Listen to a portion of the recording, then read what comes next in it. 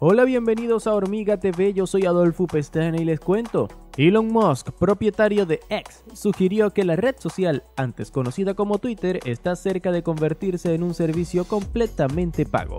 Durante una reunión con el primer ministro israelí Benjamin Netanyahu, el empresario destacó que la medida es necesaria para eliminar la presencia de bots en la plataforma.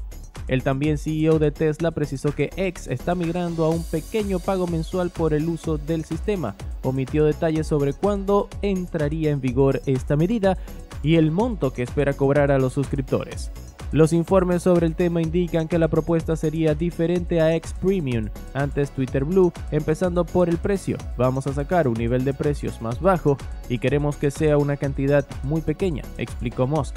Elon Musk argumentó que el mecanismo de cobro es la única manera para combatir los enormes ejércitos de robots, porque un bot cuesta la décima parte de un centavo, pero con el pago de unos pocos dólares, el costo efectivo de los sistemas automatizados aumentará de manera significativa. La idea no es nueva, en noviembre del año pasado, Platformer informó que en conversaciones privadas el empresario planteó la posibilidad de imponer un pago mensual para todos los usuarios de la red social.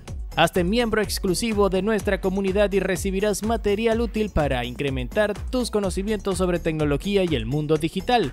Yo soy Adolfo Pestana y me despido hasta la próxima. Tú mientras tanto puedes ir abajo, comentar, darle me gusta, suscribirte y activar las notificaciones para que disfrutes de mucho más contenido como este, acá en Hormiga TV.